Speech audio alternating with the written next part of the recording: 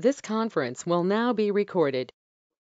Уважаемые дамы и господа, всем доброго вечера. В двух словах обо мне. Меня зовут Дмитрий Эпов. Я работаю в учебном центре специалист старшим преподавателем.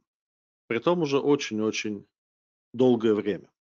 И в основном я занимаюсь курсами по 3ds Max и всем, что с этим связано. V-Ray, короной, ну и так далее. И вот сегодня я бы хотел провести небольшой мастер-класс по довольно интересному и редкому направлению, такому направлению, как анимация. При этом не просто анимация, а довольно сложная анимация. Это анимация машин и механизмов, всяких движущихся, вращающихся частей и их взаимодействие между собой. Надо сказать, что вот, например, персонажная анимация, это тоже где-то очень близко, но это все-таки немножко другое. Но это в любом случае считается сложным направлением, и что это такое, мы сегодня с вами увидим. Как я уже сказал в начале, еще до того, как включил запись, то, что я сейчас буду показывать, потом, возможно, появится или на моем YouTube-канале, или на специалист ТВ канале тоже на YouTube. Вы сможете пересмотреть это еще раз в записи, и даже я вам дам ссылку на файл, на котором я все буду показывать, для того, чтобы вы могли попробовать своими силами повторить, сделать такую же анимацию интересную. Заодно я немного расскажу о наших курсах, ну, куда уж без этого, друзья. Я думаю, все понимаете расклад. И вот у меня есть такая небольшая презентажка, с вашего позволения, вот это вот я пропущу. Да, я довольно известен э, в мире 3D, давно преподаю, и, возможно, кто-то из вас, дорогие друзья, меня знает по другим курсам, возможно, кто-то у меня на YouTube-канале какие-то видео смотрел. Кстати, мне интересно, напишите плюсик в чате, кто смотрит видосики на моем YouTube-канале. Угу, вижу, прекрасно. Прекрасно. А, в двух словах о нашем учебном центре. Я работаю в центре специалист. Это крупнейший центр в Европе, практически самый крупный учебный центр в России. Мы очень давно учим людей и, в общем-то, учим успешно. В процессе обучения предоставляем всевозможные гарантии, в первую очередь гарантия качества. Если что-то пойдет не так, мы вас поучим еще раз бесплатно, мы гарантируем то, что те знания, которые вы хотите приобрести, вы у нас приобретете. Ну а теперь давайте уже ближе к делу. О чем же мы поговорим в рамках сегодняшнего мастер-класса? Мы поговорим о том, как анимировать сложные механизмы, устройства, машины, станки. Надо сказать, что принцип создания анимации там примерно один и тот же, но нельзя сказать, что он один. То есть там есть некоторый набор приемов и методов, которые так или иначе подходят для того, чтобы можно было анимировать разного рода машинерию. И надо сказать, что Макс отлично позволяет это делать. То есть, что бы вы не хотели проанимировать, какой-нибудь распилочный станок, который пилит бревна на паркет, или какой-нибудь там дредноут из Warhammer а, который там шагает вот. Это все в Максе делается очень несложно. Ну, как несложно? Макс вообще нельзя назвать совсем уж несложной системой, да? Те из вас, кто пытался его учить или успешно уже изучил, они отлично знают, о чем я говорю. Но это в Максе реализуемо и реализуемо, что очень важно, базовыми средствами, без привлечения каких-то плагинов. Но единственный плагин, который вам пригодится, это V-Ray, просто потому что с его помощью можно красивее визуализировать то, что вы тут наанимируете сейчас, ну, то, что я наанимирую сейчас в мастер-классе, а вы, если захотите, в, так сказать, уже спокойной атмосфере дома. Хочу сказать, что то, что я вам сейчас буду показывать, это часть курса. То есть у нас есть такой курс, который называется «Анимация и спецэффекты». И вот то, что я вам сейчас покажу, это некая часть этого курса, но более продвинуто, развернуто. То есть на этом курсе как раз изучается все вот это, изучается, как там анимировать повороты, сдвиги, как правильно взаимосвязи поставить между объектами, что такое обратная кинематика, что такое автоматизация. Естественно, там же изучается, как видеоролики выводить конечные. И вот сейчас в чем-то light-версию, в чем-то, наоборот, продвинутую версию этих объяснений из курса вы увидите в режиме мастер-класса. Я для вас нарисовал вот такую сцену. Как видите, это три инсталляции, три станка. Сверлильный станок, при том, как видите, он стоит неподвижно закрепленный на полу. Распилочный станок с фрезой, как видите, он на поворачивающейся основе. И, можно сказать, манипулятор, хваталка такая, хвать-хвать. И при том она стоит на тележке, то есть может и должна кататься туда-сюда. И вот все это мы сейчас с вами и будем анимировать. Хочу сказать, что если нажать рендер, как видите, тут V-Ray у меня настроен. А, притом я даже не могу сказать, что его как-то настраивал, я его просто включил, ну и там буквально две галочки поставил. И вот V-Ray готов нам отрендерить картинку и показать, что же там у нас получается. Естественно, рендеринг одного кадра сейчас происходит, единственного. Но, с другой стороны, анимации все равно здесь нету. Так что мы в любом случае увидим все то же самое, даже если отрендерим весь видеоролик. Хочу также, дорогие друзья, отметить, что здесь у V-Ray включен очень специфический э, момент в материале. Как видите, V-Ray все грани подчеркивает специально такими линиями. Очень интересное решение как раз для технических, технологических визуализаций. К слову, замечу, корону тоже, тоже так умеет. Если кто-то из вас Верей не любит, а любит корону. Но вот что мы видим в качестве статичного кадра. Итак, давайте я возьму вот этот вот механизм, состоящий из нескольких деталек, и спрячу все остальное. Нажму команду isolate, все остальное исчезнет. Что мы с вами видим? Как видите, это некий механизм типа манипулятора, состоящий из основания, двух рычагов и рабочей головы, а также вот такого сверла. И все это надо привести в движение. Одна очень важная деталь, про которую сейчас я скажу только один раз. Для того, чтобы объекты правильно поворачивались, у них есть так называемый pivot point, то есть опорная точка. Вот, давайте возьмем, возьмем э, рычаг какой-нибудь и сделаем его копию. Я его скопирую с клавиши Shift передвинул. То есть я нажал Shift, потянул за стрелочку X, сделал копию. Ну, можно instance, неважно. И если мы берем команду поворот, то мы видим, что рычаг вращается вокруг некой точки. Вот она. Это его pivot point, точка опоры. Если хочу перенести ее в другое место, достаточно нажать иерархия, pivot, эффект pivot only. И вот теперь я могу pivot перенести, допустим, сюда. И вот теперь рычаг уже вращается относительно этого места. И да, в виде некого рояля в кустах я уже втихаря поставил везде эти пивоты правильно. Что значит правильно? Ну вот есть разные участки нашего механизма, разные части нашего механизма, более правильно сказать, извините. И у каждой такой части есть некий шарнир, относительно которого эта часть поворачивается. И да, везде пивоты я уже установил. Так что, как видите, эта часть вращается здесь, эта часть вращается здесь, эта часть вращается здесь, но а эта часть вращаться не должна. И вот, возможно, вы заметили, друзья мои, когда я вращал верхнюю часть, вращалась только она. Но когда я вращал нижнюю часть, вращается все устройство. Это еще почему? Потому что сделаны так называемые линки. Линки – это невидимые связи, которые один объект объявляют старшим, а другой – дочерним. И вот я хочу их отключить. Я выделю все эти детали и нажму кнопку, которая называется Unlink. Такая цепочка разорванная посередине. Вон она, да? Я нажимаю Unlink, и связи разрываются. И теперь, если я вращаю одну из деталей, остальные вместе с ней вращаться не хотят. Никаких ареалей в кустах больше. Как же нам правильно соединить эту систему так, чтобы действительно при вращении нижней детали остальные могли вращаться? Я включаю команду Select and Link, то есть выделить и связать. И вот теперь я должен хвататься за старший объект и показывать относительно него младший. То есть я хватаюсь за сверло, и показываю голову этого станка. Что теперь происходит? Если голова будет поворачиваться, то сверло поворачивается вместе с ней. Но если будет вращаться сверло, то, как видите, рабочая голова остается на месте. В этом весь смысл линков. Надо сказать, что линки – это только верхушка айсберга. Ну, давайте дальше залинкаем все. То есть голову к верхнему рычагу, верхний рычаг к нижнему рычагу, ну, а нижний рычаг можно к основанию. И вот теперь как мы можем определить, как все это работает? Секундочку. Мне вот пишут на, э, в чате, что не слышно меня. Друзья мои, меня не слышно? Звук пропал? Есть у вас звук? Или нету звука?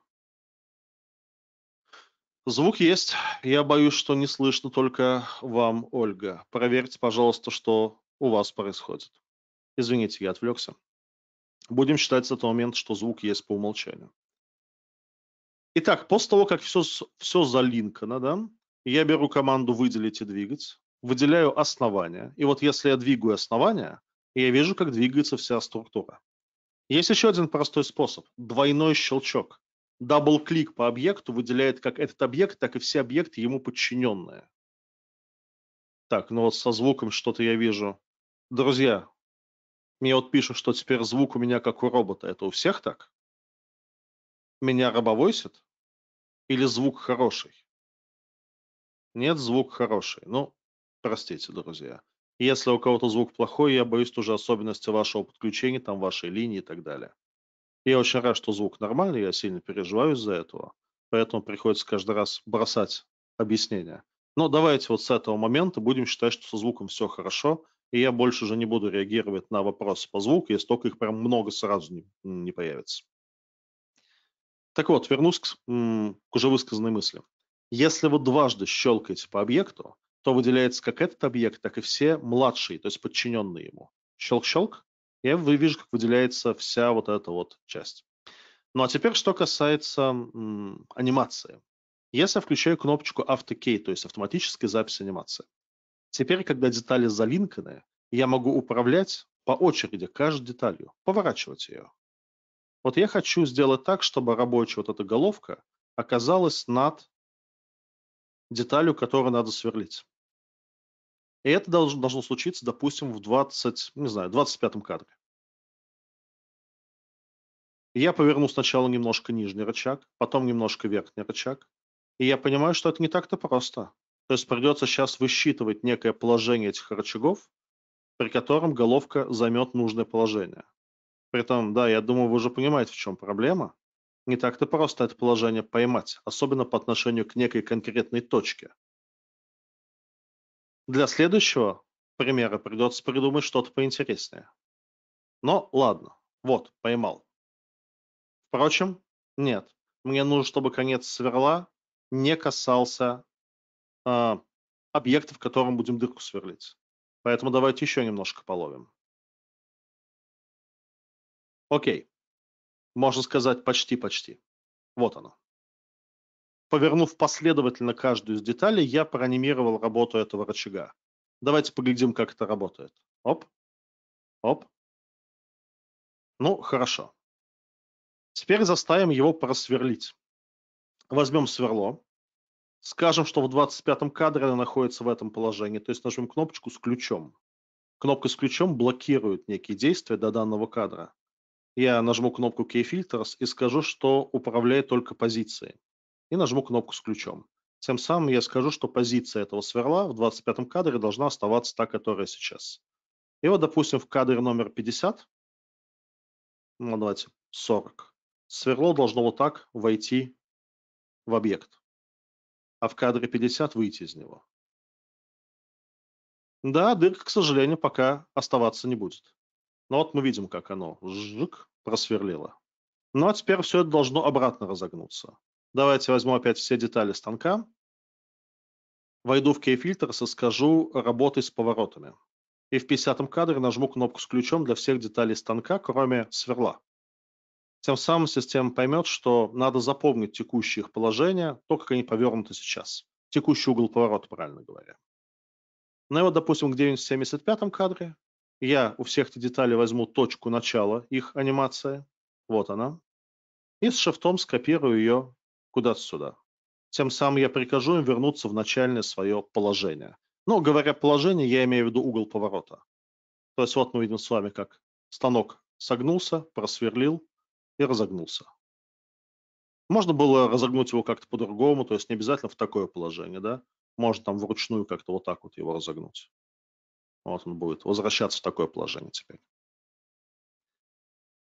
Немаловажный, конечно, момент, как дырку-то сделать. У меня есть вот такая деталька. Это болванка, которую я собираюсь проанимировать, а потом вырезать командой boolean. Дело в том, что есть обычная команда boolean макса, не pro boolean, а классический boolean обычный, который, ну, имеет свои там отличительные черты от ProBoolean, но главный из которых, он поддерживает анимацию. То есть, если какой-то объект проанимирован, то в процессе вычитания булином это тоже будет учтено. И вот давайте посмотрим, как это сработает. Я возьму эту болванку, совмещу со сверлом. Давайте посмотрим 25 кадр. Вот, она как она так стоит у меня. Давайте проверим другую проекцию. Да, все хорошо. Нажмем Key-Filters Position. Чпок проконтролируем движение сверла в 40 кадре и нашу болванку продвинем также вместе со сверлом. И вот в 50 кадре сверло вернулось, но это уже лишнее. То есть обратно возвращаться не должна. Мы же не хотим, чтобы дырка заросла обратно, да? Хорошо. Я сделаю, пожалуй, эту болванку потолще немножко. Вот так вот. Ну а теперь я возьму боксик и скажу ему, давай, compound object, обычный boolean, не pro-boolean. Pro-boolean с анимацией не работает. Вычитание, subtract, add operands и укажу болваночку вот эту. И смотрите, какая прелесть. Болванка проанимирована, и когда сверло движется, болванка вырезает дырку. Ну, то есть, если мы с вами посмотрим, как это выглядит в окне перспектива, то это выглядит вот так. Наш манипулятор согнулся, сверло высверлило дырку, и вернулся обратно.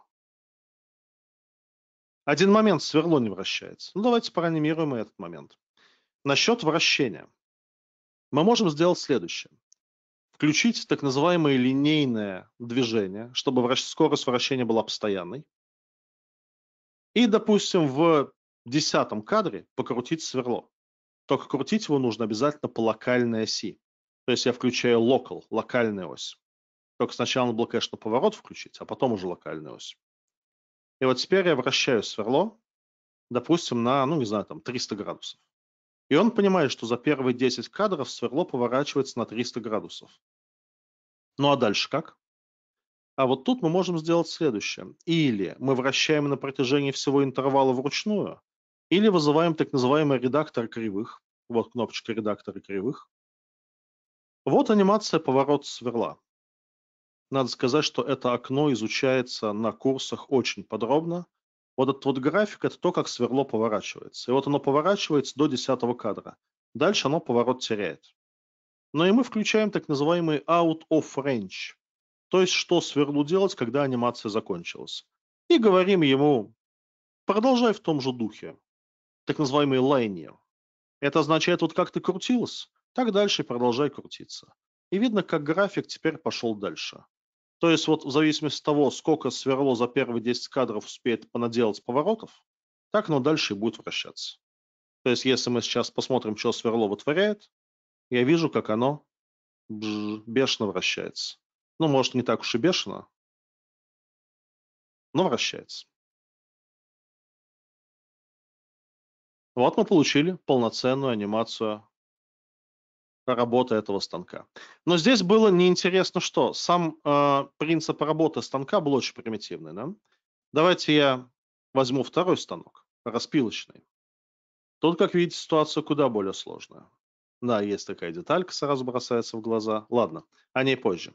Сначала проанимирую работу фрезы, ну или диска. Также в десятом кадре я его крутну. Но вообще-то, друзья, я сейчас делаю неверно. Сначала надо все залинкать. Я возьму команду link, потому что сначала в первую очередь всегда соединяются объекты, потом пишется анимация. И диск я линкую к головке рабочей, рабочую головку к верхнему рычагу, верхний рычаг к нижнему рычагу, тот к основанию, а основание к поворотному столу. Окей. Продолжаем. Вот теперь начинается самая интересная часть. Здесь у нас есть поворотный стол, который, да, может вращаться и вращать всю конструкцию. Возьмем диск. И в десятом кадре с автокеем я его крутну на сколько-то там, ну, не знаю, там на 200 градусов сойдет. Войду в управление кривыми. Найду его анимацию поворота. Где она, кстати? Интересно. Вообще должна быть здесь. А, ну, собственно. Хм. Вот она, нашел. Включим out of range, то есть что ей делать, когда она заканчивается. И скажем linear, продолжай дальше. Вот видно, она пошла дальше. Теперь, если я play нажимаю, диск постоянно вращается. Кстати, хочу заметить, на визуализации это будет смотреться куда лучше, если включить так называемый motion blur, то есть смаз движения. Если смотреть глазами камеры, где смаз включен, видно, что зубья диска вот этого, они кажутся размытые. Они не смотрятся четко. То есть он будет смотреться как такой размытый, вращающийся полупрозрачный диск. Ну ладно. Вернемся к нашим делам. Для начала я хочу развернуть основание. То есть у меня основание теперь вращающееся. Я вижу, что пилить эту штуку нужно будет поперек. И я нажму кнопку AutoKey. И, допустим, в 15 кадре, в 10 кадре, неважно, в 20 кадре, я всю эту конструкцию разверну. Включу только плавную анимацию, и вот разверну конструкцию, допустим, вот так. Вот она будет пилить его. Ну а теперь, видно, что да, она вся повернулась, конечно. И я хочу сделать анимацию распила. То есть вот головка должна так жик пройти и разрезать часть кубика. Но я помню с того раза, каких трудов стоит вот эта вот анимация отдельных частей. Это будет сложно проанимировать таким образом, чтобы вот эта вот э, фреза прошла ровно. Поэтому тут мы доходим до первой сложной темы. Да, это все пока было не сложное. Первая сложная тема называется IK – инверсная кинематика. Инверсная кинематика – это метод управления, когда младший объект управляет старшими. То есть вот диск, и мне нужно, чтобы диск прошел вот так через ящик. И мне нужно сказать всем остальным деталям, подчиняйтесь ходу диска. Делайте так, как он говорит. Для этого существует специальный механизм. Он живет в иерархии, называется IK, и сейчас он выключен. Существует такое понятие интерактивная инверсивная кинематика. Если я включаю ее и пытаюсь двигать диск, я вижу, как вся конструкция пытается как-то двигаться вслед за диском. Почему, кстати, не двигается основание? Дело в том, что у основания, дорогие друзья, я втихаря поставил галочку терминатор. Вот если я ее уберу, то теперь все радостно двигается вообще как бог знает что. То есть мы берем ту деталь, которая должна являться замыкающей в цепочке, ставим галку терминатора, то есть ну, всего лишь ограничитель. И вот теперь вся эта конструкция начинает двигаться правильно. Но за счет чего она двигается только в одной оси? Почему ее не колбасит как-то совсем уж дико? Дело в том, друзья мои, что для каждой детали, допустим, вот для этой, я выставил или могу выставить так называемые лимиты. Тут есть понятие joints, ограничители. Joints ограничивают движение по определенным осям. И вот смотрите, дорогие друзья, как видите, у этого объекта включены ограничители по Z-оси. То есть здесь включена галка Active, и у других осей эта галка убрана. Это означает, деталям запрещено по другим осям поворачиваться. По X, по Y эти детали поворачиваться не могут, только по Z. Тут же указаны градусы, с какого до какого угла они могут поворачиваться. То есть благодаря вот этим настройкам каждая деталь знает, что она может поворачиваться. Допустим, вот головка, да, head она может поворачиваться только по оси Z и только от минус 90 до плюс 90. Можно еще меньше сделать подвижность, она будет да, поворачиваться на еще меньший угол. То есть вот пила движется, и все детали поворачиваются сами настолько, насколько им разрешает делать этот механизм. Таким образом, вы можете взять каждую деталь и ограничить ей подвижность определенными осями и определенными углами по этим осям. Кстати, интересное наблюдение. Вот у этих двух деталей стоит ось Z. Здесь Z, здесь Z. А у этой детали почему-то Y вместо Z. Дело в том, что оси здесь используются класса parent, то есть родительские. В этом случае используется ось не того объекта, который движется, а того, к которому он прикреплен.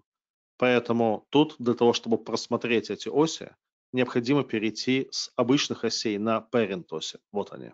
И вот теперь будет понятно, что здесь вот эта ось – это Z, здесь Z, а здесь Y. Именно эти галки и поставлены в EK настройки Rotation Joints, то есть поворотных суставов. Если понимать, как это устроено, то вообще настройка этого механизма несложная получается очень. Самое главное, не забудьте кнопку Interactive IK нажать, чтобы это все работало. Ну а теперь давайте спилить. Я беру диск фрезы и где-то в 25 кадре, только давайте я сначала скажу, что с 15 кадра, нет, с 25 кадра, вот так вот, чтобы он не вращался никуда. Скажу ему, пожалуйста, дорогой друг, вот тебе необходимы секундочку key filters rotation block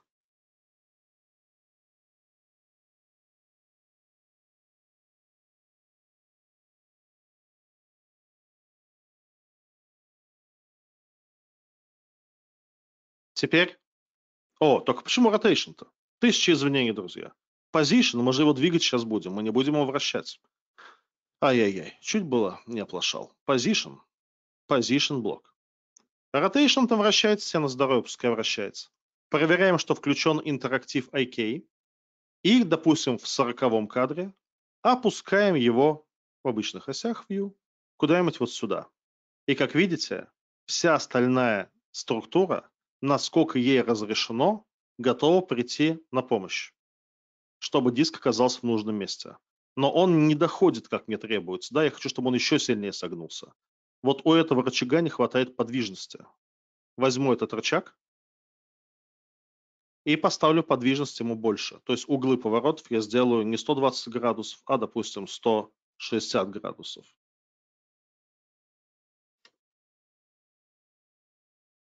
Так, извините. Да. Сделаем углы поворотов.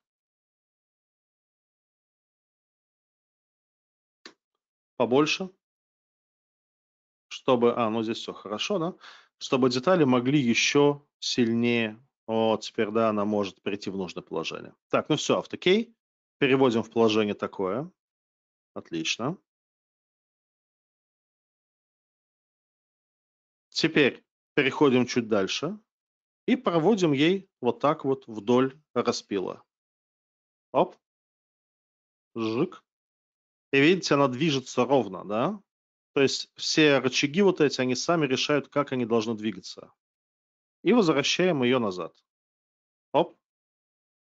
Смотрим, как это работает. Жик. Жик. Шикарно. Так, теперь у нас есть вот такая деталька. Давайте ее установим сюда. Нажмем Автокей. Начальное положение здесь. Оп. Ну, здесь немножко, да, диск наш прошел не очень аккуратно, к сожалению. Могло получше это быть. Можно было проконтролировать немножко понежнее его движение в конце этого хода, да? Вот здесь вот где-то. Ладно, бог с ним. Так. Ну и давайте вычтем ее. Отключаем автокей, создание, компаунд объекты, boolean, subtract, добавить операнд, вычитаем.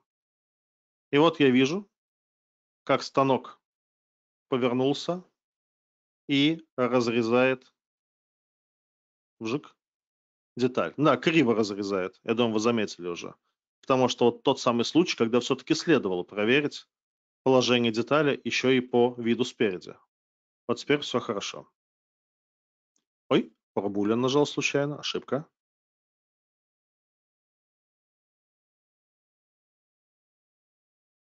Вжик. Да, конечно, залезание движком фрезы в ящик смотрится не очень. Прошу простить. Не хочу сейчас переделывать, у нас так много. Опа.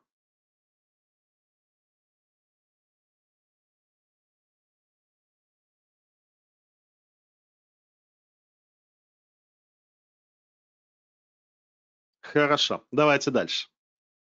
И у нас осталась еще одна последняя конструкция. Это тележка. С тележкой ситуация такая, она должна подъехать и манипулятором схватить эту деталь и утащить ее. Всего лишь. Сначала линки. Берем команду link. Ну и давайте я присоединяю хваталочки к их держалки, держалку головки верхней, ну и дальше все по списку, также мы линкаем каждую деталь. Хочу сказать, что на курсах по анимации команда Link изучается на нескольких упражнениях, чтобы это было более плавно, чтобы не приходилось, так скажем, в аварийном порядке осваивать. И все четыре колеса я тоже линкаю к тележке. Вот у меня все залинкалось. Тележка главная деталь, если два раза по ней щелкаю, я вижу, как тележка... А, -а, -а. смотрите, а я забыл одну детальку. Да, надо сначала линкнуть вот сюда, а вот ее уже на тележку. Давайте проверим снова. Двойной щелчок по тележке. Да, теперь все хорошо.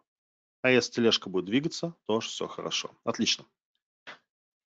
И здесь, дорогие друзья, есть два технологически интересных момента, которые я хочу вам показать. Момент первый.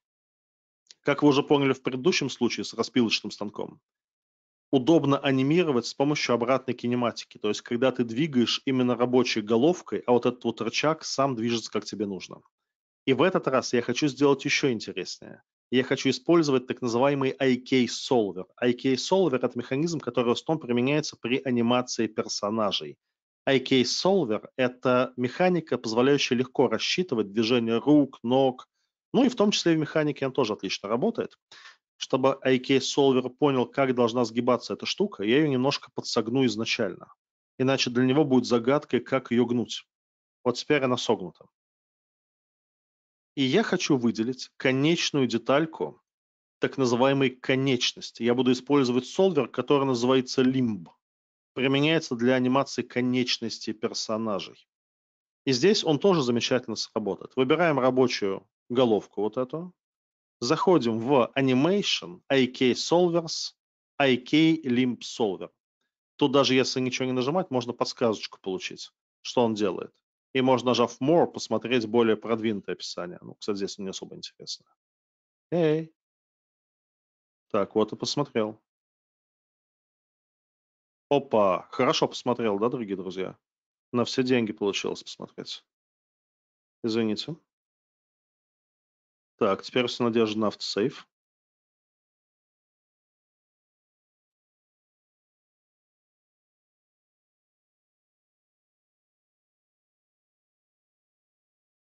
Макс решил порадовать меня внезапным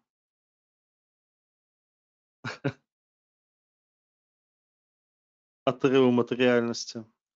Давайте дадим ему запуститься. Как нехорошо, да? Так, сейчас мы узнаем, сколько времени было потеряно. Надеюсь, не слишком много.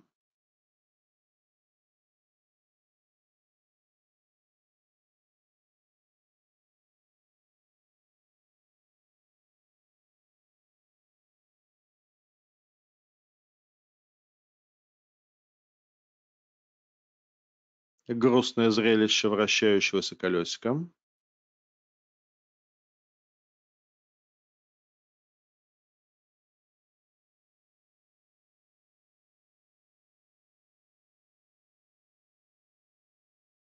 Так, пробуем считать автосейв.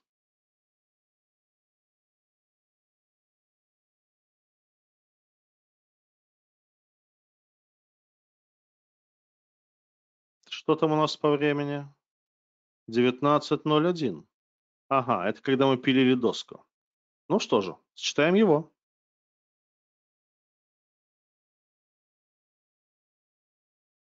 Так, друзья, извините, я чуть-чуть здесь доделаю. Не буду уже комментировать то, что делаю, мы это все видели. Здесь, да, все хорошо получилось, ну, не считая того, что деталь проваливается. Грустно, конечно, переделывать еще раз, но что ж тут. Опа. Поехали. Все.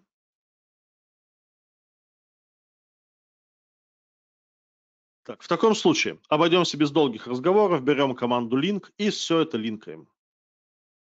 Хваталки к основанию, к верхней части, сюда, сюда, сюда, сюда, ну и все четыре колесика тоже к тележке. Все. Давайте подсогнем эти рычаги. и используем IK Solver. Для этого берем верхнюю часть, анимация, IK Solver Limb, и показываем нижнюю часть рычага, то есть на нижний рычаг. И что происходит? Вы видите такую еле-еле видимую конструкцию. Эта конструкция невидимая, но вполне себе рабочая механика, которая анимирует кости сама. То есть она считает, что это кость скелета, это некая конечность, заканчивающаяся, заканчивающаяся ладонью, например. И есть так называемый гол, такой специальный крестик, вот, который мы с вами видим, вот он. В то время как гол движется куда-то, он двигает всю эту конструкцию. То есть для анимации достаточно сделать этот самый limp solver, то есть не нужно настраивать инверсную кинематику, как это делал в прошлый раз. Единственное, что для поворота, корректного поворота всего этого механизма, надо бы goal, то есть крестик, еще дополнительно линкнуть к поворотному столу, то есть вот сюда вот. Чтобы при повороте конструкции он, goal, тоже поворачивался.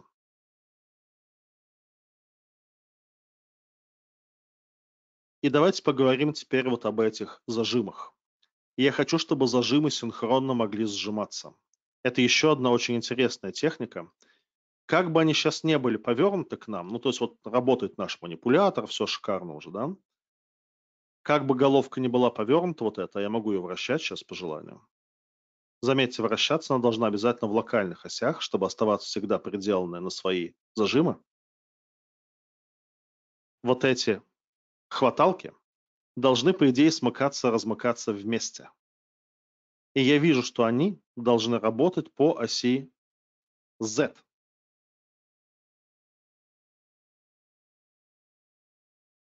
Что я могу сделать? А в локальных осях тоже Z. Я беру одну из этих хваталок и нажимаю по ней правой кнопкой. И мне нужен так называемый wire. Wire, ну, по-нашему, проволока или проводка – это невидимые связи, которые вы можете между объектами включать. Я говорю, что хочу wire, то есть прицепить некое свойство данного объекта к другому свойству другого объекта. Он говорит, какое свойство? Трансформация, поворот, ось Z. К чему? К этой детали. К ее трансформации, повороту оси Z. Появляется вот такой диалог. Я говорю, давай связь в обе стороны соединить. Имеется в виду, что если я вращаю этот объект по Z, то тоже вращается по Z. Но он же должен идти в другую сторону, поэтому я поставлю минус Z. Апдейт, обновить. И теперь, двигая одну деталь, вторая двигается сама. Вот так работает вайринг. Так можно много чего анимировать. Например, можно проанимировать вращение колесиков, когда платформа едет. Ну, сейчас я это сделаю более примитивно, но можно и вот так. Ну что же, нам нужно сейчас проанимировать когда, ну, процесс, когда платформа подъезжает к этой детальке. Я нажимаю AutoKey и двигаю платформу к детальке ровно. Притом я возьму колесики, это будет, конечно, жалко, но тем не менее я поверну их командой поворот по обычной оси, ну, где-то примерно, наверное, на 360 градусов, вот так вот. И вот платформа подъезжает, останавливается. Также она должна быть развернута к нам лицом, то есть вот, отлично. Возьмем goal, то есть цель движения стрелы, и давайте key filters position скажем, чтобы она никуда не двигалась до этого кадра. Только, извините, здесь не, э, не position, здесь IK parameters, то есть мы анимируем инверсную кинематику его. Вот. Дальше. В 50 кадре он опускает нам стрелу вниз, то есть вот сюда. Жик. Ну и да, остается только немножко довернуть вот эту часть. Давайте довернем ее капельку. Все-таки поворот нам вручную придется прописывать. Так. Оп. Оп. Видно, что тележечку нужно было подкатить немножко. Вот так как-то, да? Вот. Зажимы. Изначально я хочу их разжать, пускай они будут разжаты, то есть вот так вот. В 50 кадре они подошли сюда. Key Filters, Rotation, включить. автозапись ключей. И давайте в 60-м, пускай они зажмут ее. Щелк. И теперь гол ее должен поднять вверх. В 60-м начать и в 70-м поднять. И я понимаю, опа, он, конечно, радостно поднимает зажим, но без нашей детальки. Как же поднять детальку? На детальку необходимо повесить, дорогие друзья, специальный анимационный constraint, который называется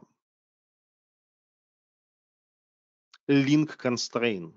Этот механизм как раз вот нам хорошо показывает, что он делает.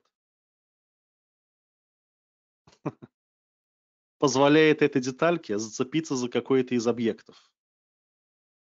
И в определенный момент времени перецепиться за другой объект.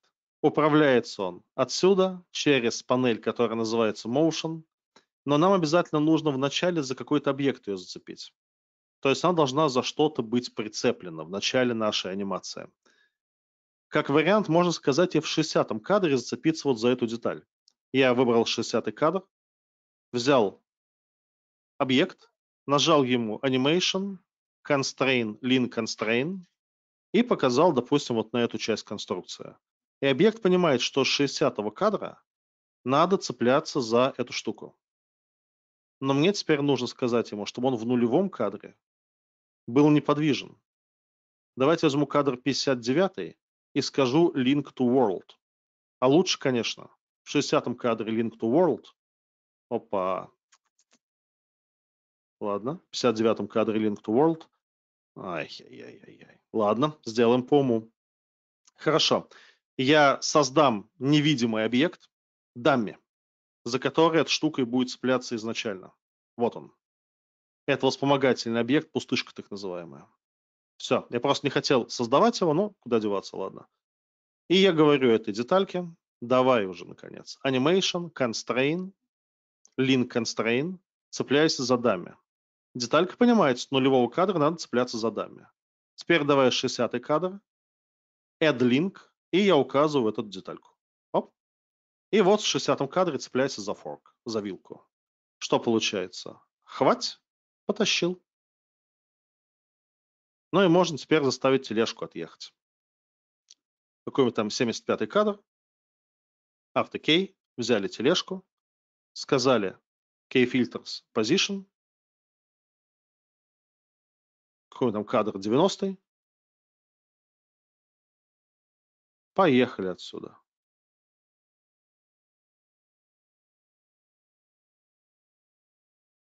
О, как ее таскает, да, туда-сюда. Это потому, что включен неправильный способ анимации. Правильный вот.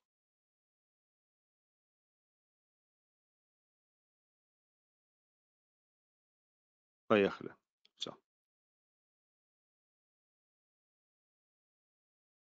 Все равно немножечко елозит. Можно переключить так называемую кривую сглаживания. Она заставляет тележку немножко елозить на месте. Это не здорово.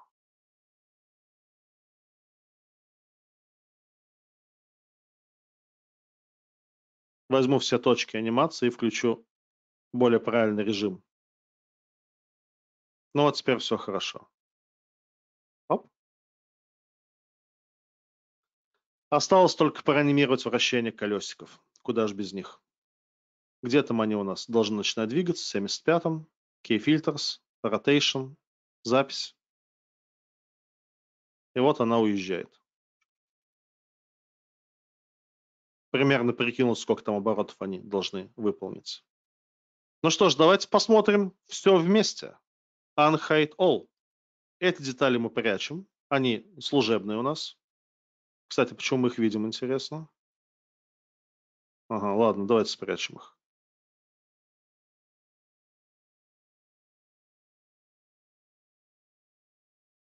Ну и вот у нас, наконец, получился ролик до конца.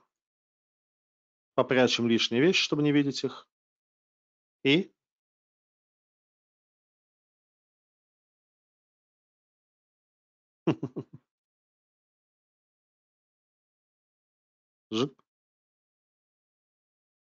Не до конца аккуратная анимация колес тележки.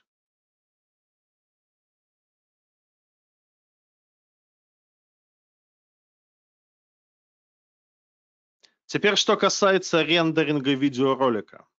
Мы можем с вами, конечно, попытаться отрендерить видео как есть, но я боюсь, что займет непозволительно много времени. То есть, естественно, если мы попытаемся рендернуть видео полноценное, то мы попадем на очень-очень долгое время ожидания.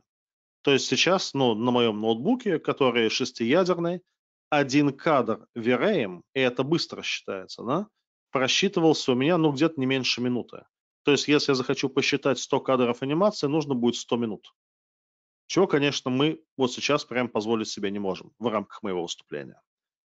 Но если вы хотите показать заказчику видосик, пускай в плохом качестве, но с понятным движением объектов, можно сделать так называемый грубый превью, то есть черновой предварительный просмотр, который хоть как-то показывает, что вы сделали и как оно работает. Вот сейчас мы видим полноценный кадр из видео, да?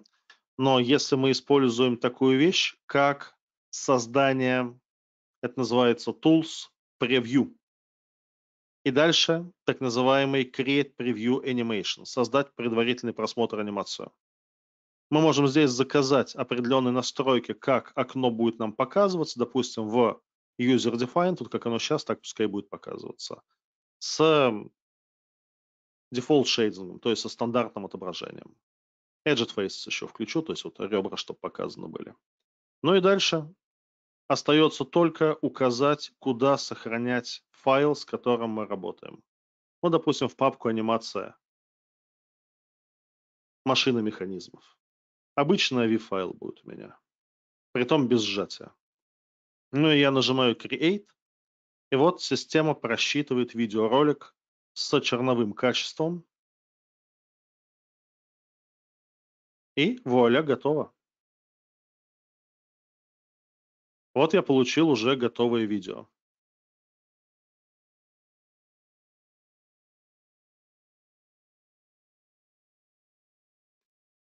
Ну что же, друзья, напомню, с чем мы здесь столкнулись. Мы увидели очень много систем, связанных командой Link. Мы увидели так называемый обычный IK, то есть инверсную кинематику, настроенную по связям увидели так называемый лимб, то есть конечность, то есть механизм, который упрощает инверсную кинематику.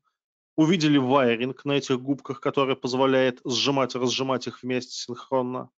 Увидели так называемый link constraint, который позволяет то прицеплять, то отцеплять объект. Ну и немножко с анимацией Булиана. Надо сказать, если вы потренируетесь со всеми этими вещами и поймете, как они работают, то вы сможете делать очень неплохую анимацию разных машин, механизмов, узлов этих машин. Они у вас будут там вращаться, двигаться, взаимосвязаны, естественно, и вытворять всякие разные интересные безобразия. Лишний раз напомню, все, что я сейчас показывал, а, включая, к сожалению, позорное зависание 3D Max, будет в качестве видеозаписи доступно вам для последующего просмотра или на моем YouTube-канальчике, или на канале Специалист ТВ для того, чтобы вы могли, если, конечно, вам интересна эта тема, попробовать свои силы самостоятельно. Возвращаясь к разговору о обучении.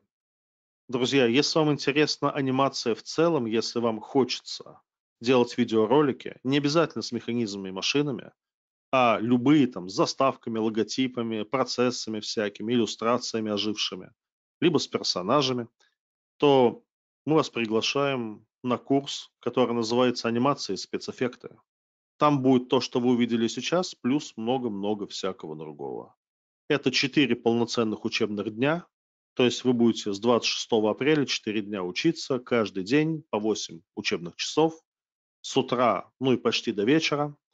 И за это время вы сможете полноценно освоить такую интересную задачу в Максе, как анимация и спецэффекты. Надо сказать, что этот курс также является частью комплексной программы, но, тем не менее, сейчас мы говорим просто об отдельном курсе. Дорогие друзья, про центр специалист, в котором мы учим людей, я уже все рассказал, поэтому повторяться не буду. Буду рад видеть вас на наших курсах. И, как и обещал, в конце нашего небольшого мастер-класса.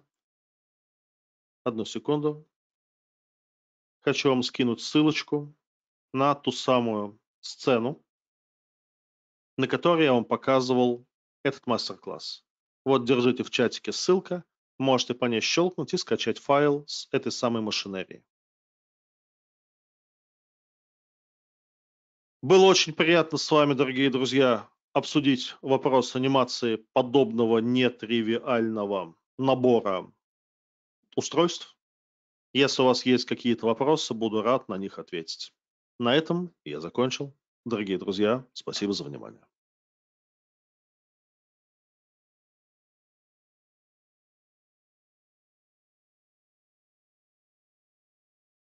Извините за зависание 3D Max. Для меня это было, конечно, неприятным сюрпризом, но вроде мы сумели, несмотря на это, уложиться в тайминг. Ну, почти.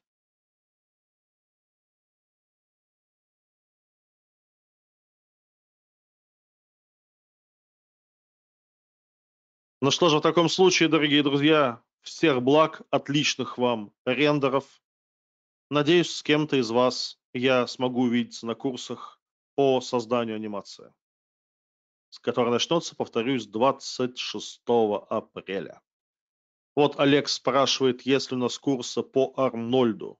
Олег, ну, честно говоря, Арнольд не очень система.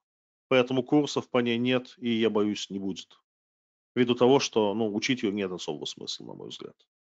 Мне она не нравится. Да, она неплохо смотрится, когда у тебя мощность почти бесконечная. То есть, если у тебя реально рендер-ферма там с кучей компов и неограниченными ресурсами, тогда, конечно, да. А если у тебя один комп, на котором тебе нужно что-то рендерить, то Арнольд, он теряет актуальность. Слишком м- ресурсоемкая дрянь, рендерит медленно, постобработки почти нету нормальной. Поэтому, ну, блин, мне Арнольд не нравится.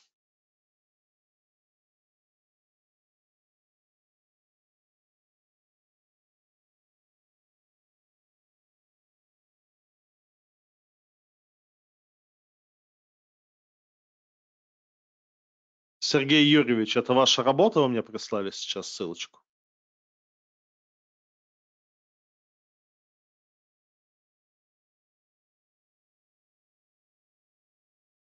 Если ваш, то выглядит красиво. С монетками.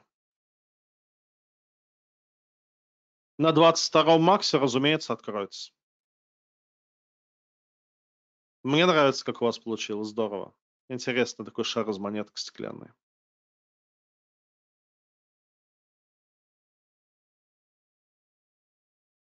Ну что же, друзья, с вашего позволения выключаю запись.